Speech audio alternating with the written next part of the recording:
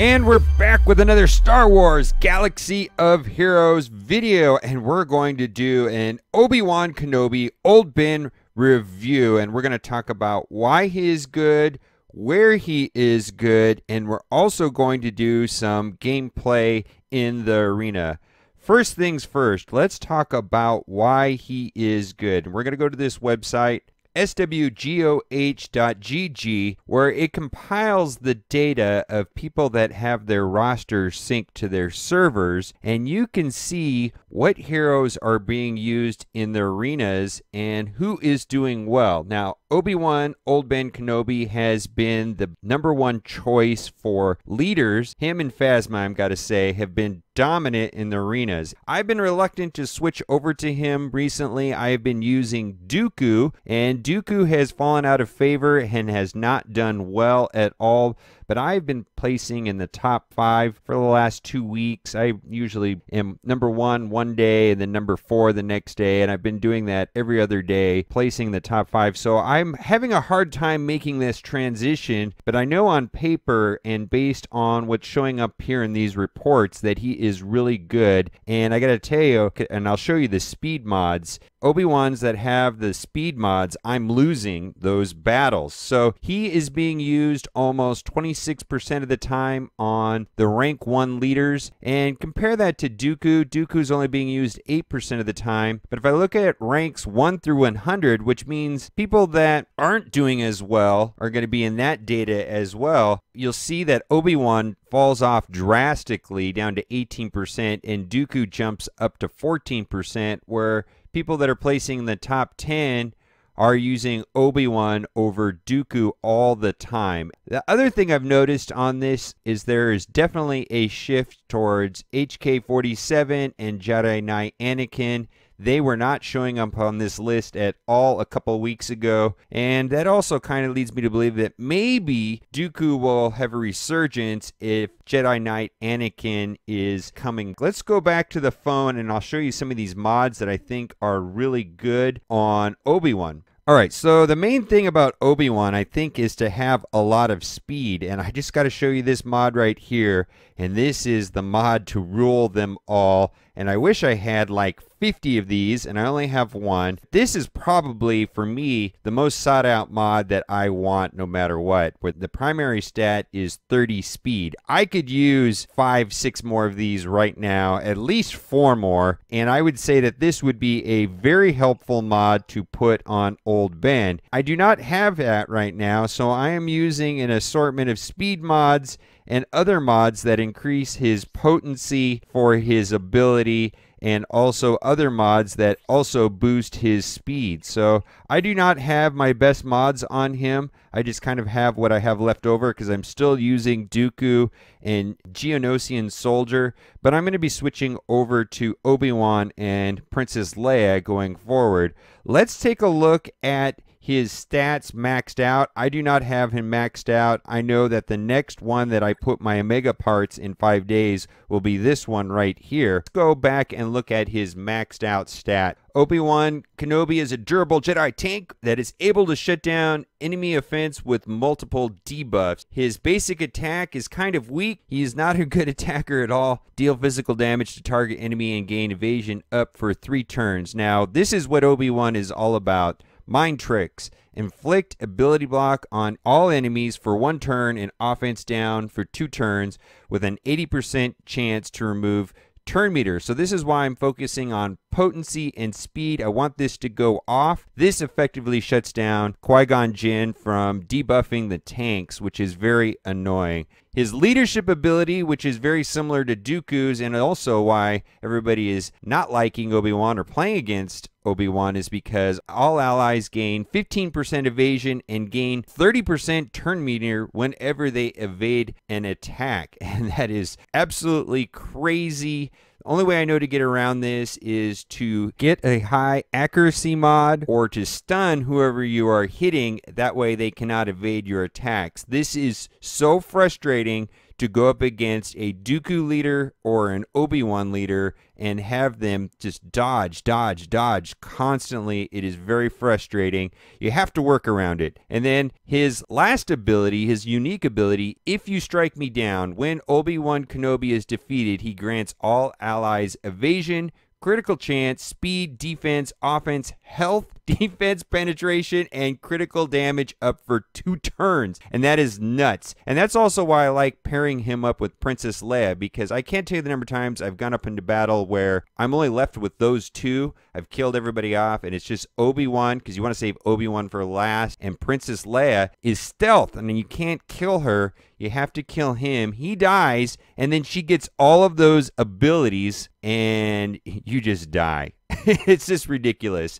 Raid gear only needs one raid gear, 650 purple parts. That's what I'm struggling with right now. That is quite a bit of purple parts. I'm having difficulty finding a lot of the last purple parts to take him to gear 10. I have him at gear 9. Now, I just want to say, I have seen many people in the arena with Obi-Wan with no mods and not maxed out and they're basically just using him for this strike down like they want him to die. They have the evasion up and the mind tricks. So for me, I just want him to go fast, have potency, and if he dies, that's okay because it's going to boost my Rey, it's going to boost Leia, and that's going to be okay. So let's go into the arena and hopefully we'll get a mirror match and see how that goes. He is constantly up in the top ranks of my arena. It's just pretty much every day I go against Obi-Wan, and it's a challenge to work around him. And I was using Dooku and Royal Guard to stun him quite a bit. Just show you the top parts of the ranks. It's almost always, look at that, Old Ben, one, two, three, four, five, six, the top six players on my server right now are using him as leader. So he is good.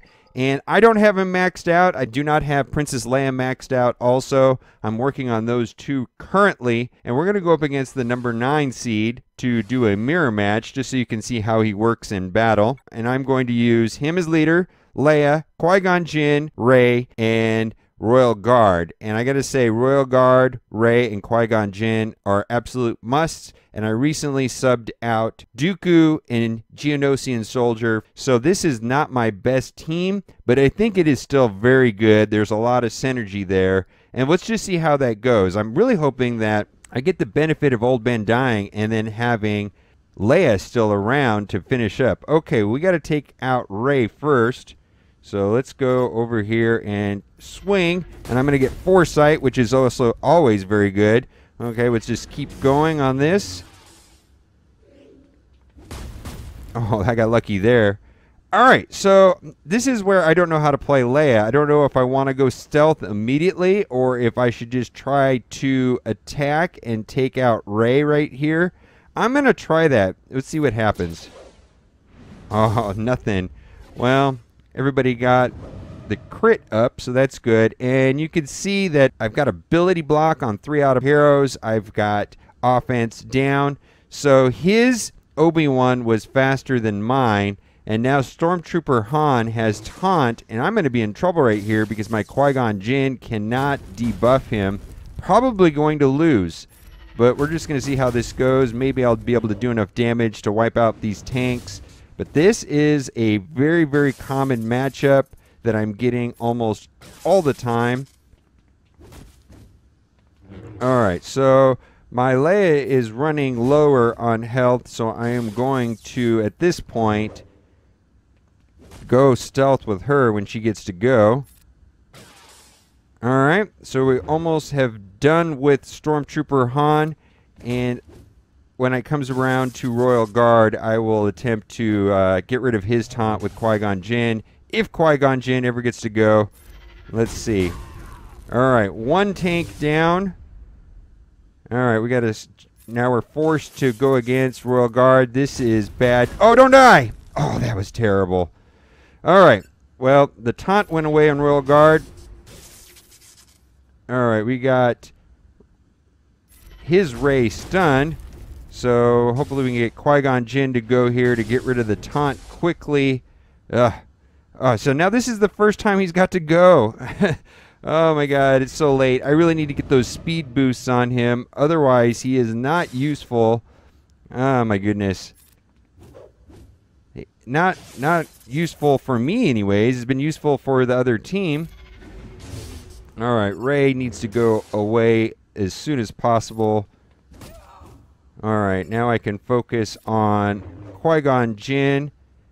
I probably will pull this off. I'm not worried right now.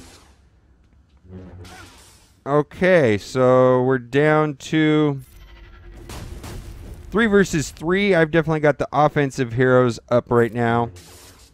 I would be very happy if Old Ben died. I just don't think that's going to happen. Oh, no, he's going to be dead here pretty soon. All right, Royal Guard is beast. I just think the best tank in the game, without a doubt. Oh, no. Oh, Let's see if I can, uh, there we go. Okay, so now I actually think I want to take out Royal Guard before Old Man. And we're going to run out of time unless I do this quickly. Probably can put this on autoplay. Yep, I'm going to put this on autoplay. And that is it. So Unfortunately, we didn't get to see Old Ben die and everybody get all the boosts, but you definitely want to save Old Ben for last when you're fighting against him. And anything you can do to stun him or to get him to not go off first, I think the speed mods are absolutely vital on him going first and getting that ability block and offense down to go off. Anyhow, he is the best leader in the game. I also think Phasma is amazing, and we're seeing Anakin Jedi Knight come up, and also HK 47, and Dooku's been out of favor for a while. So, right here in the middle of the screen, there is a link to all of my Star Wars Galaxy of Heroes playlists, and as always, thank you so much for watching, and keep on gaming.